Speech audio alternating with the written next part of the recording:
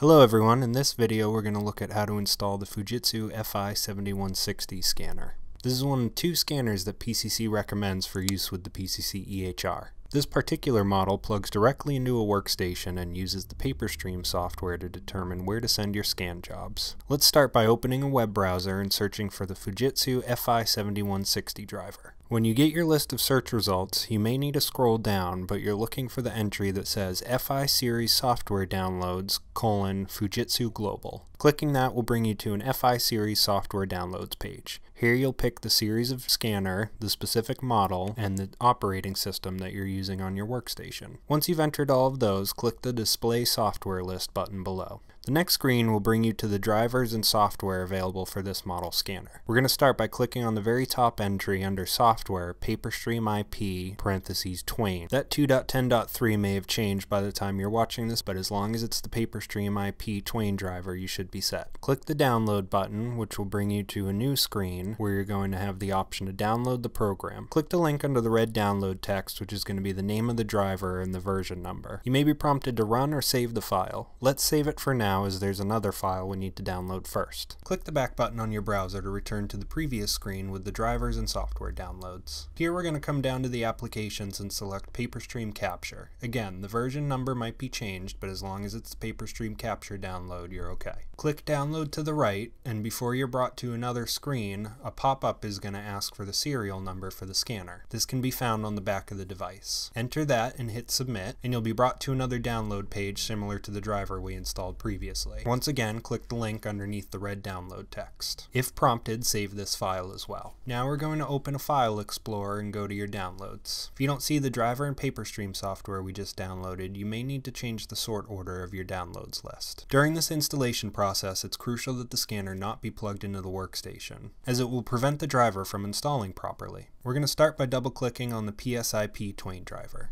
You may be prompted to pick whether or not you want this application to allow changes to your computer. Hit yes. A black command box will open to start installing the driver. This process may take several minutes, so don't be alarmed if the screen stays black and doesn't show anything for a while like it does here. Once that's finished, it'll automatically open this PaperStream IP driver setup window. On the first screen, you're going to hit next, and on the next screen, make sure the PaperStream IP and Scanner Central admin boxes are checked off. They should be by default. Then hit next at the bottom. Finally, you'll be be presented with an EULA, an End User License Agreement. Feel free to scroll through that and then check off the I accept box at the bottom, then hit install. Now the driver will finish installing. This process may also take a few minutes depending on your workstation. Once finished, these three entries on the list will all have check marks to the left. The stop button at the bottom will change to close, which you can click. Next, we're going to install the PaperStream software. Double click that on the downloads list.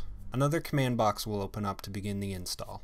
Next, you'll be prompted to choose your language, hit OK, and then we'll have the initial setup steps. We're going to check off the I accept terms in the license agreement box at the top, switch from Pro to Basic, and then uncheck the display sample profiles and show welcome on startup. We recommend you don't check off the shorten the start time for a scan. It sounds enticing, but as you see when you check it off and get the warning message, scans will be delayed and interrupted if you have other programs running that are using the scanning device. For our purposes, that would be the EHR. It's best to leave that box unchecked. This model Fujitsu scanner already does its job quickly, which is one of the reasons we recommend it. Once you have the user agreement checked off, you're switched to basic, and you've unchecked display sample profiles and show welcome on startup, you can hit install down at the bottom. Once the status bar above is full, it'll bring you to the final screen where you can hit finish, and then the software will run through some final configuration. Now that we have the driver and PaperStream installed, we can plug in the scanner. If you have one available, it's recommended you plug the scanner into a USB 3.0 port.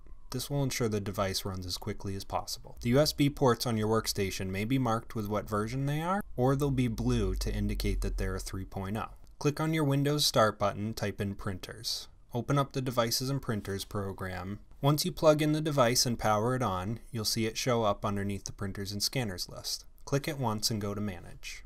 Under Manage, we're going to click Scanner Properties, which will open a new window. This Scanners and Cameras window may have several different devices listed but make sure you click once on the FI7160 and then click Properties below. This will open the properties specific to that device. We're going to go to the Events tab at the top.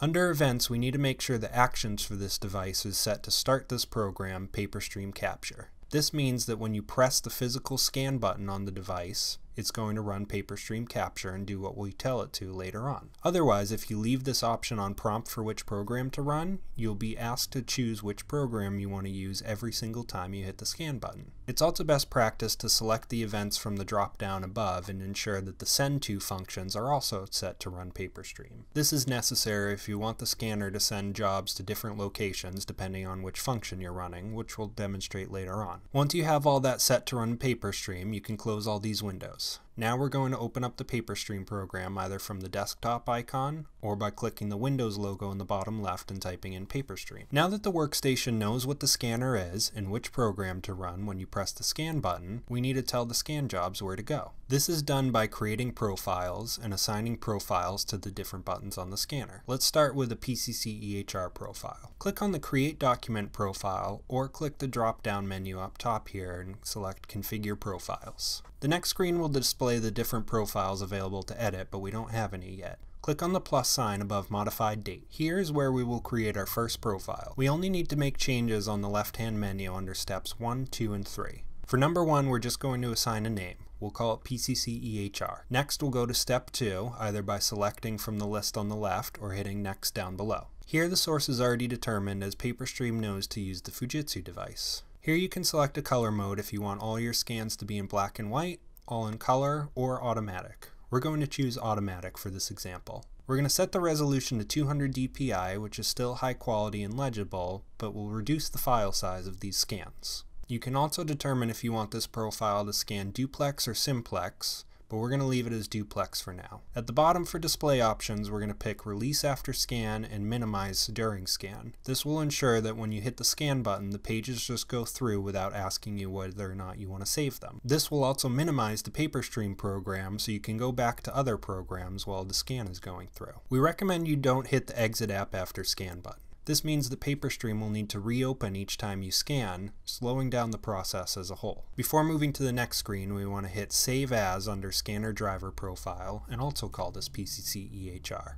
Finally, we're going to go to Destination and change the file type from TIF to PDF. Then we're going to assign where we want these scans to go. The file path is always going to be backslash backslash, your practice acronym, backslash scanning, backslash bucket number. There are three numbers for each bucket, whether it's 000 for print to EHR, 001, 002, etc. If you're not sure which bucket number you want to use, jump into the EHR and go to Configuration at the top, then go to Documents. On the middle tab here, we have all the different bucket numbers and their assigned categories. Make note of the bucket number for the category you want, jump back to paper stream, and fill it in at the end here. Then hit Save at the bottom, and click OK on the little message that pops up. This is just indicating that we changed the file type from TIF to PDF. You'll be brought back to the Configure Profile screen where you can add any additional profiles that you want. For example, we'll add a PCC EHR simplex for single-sided scans. Some of our settings from the previous profile have remained,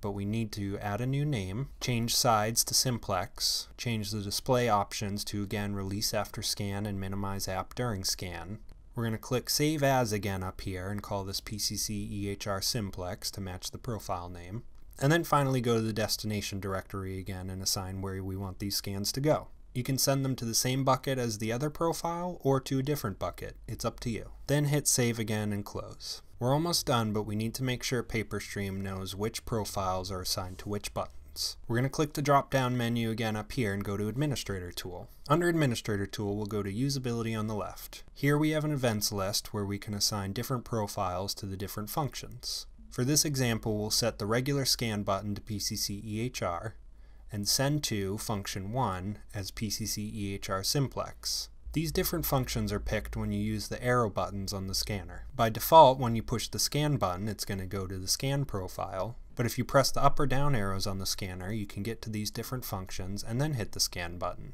For one last example, we'll look at how to create a profile if you want to send these scans somewhere on your workstation rather than to the PCC EHR.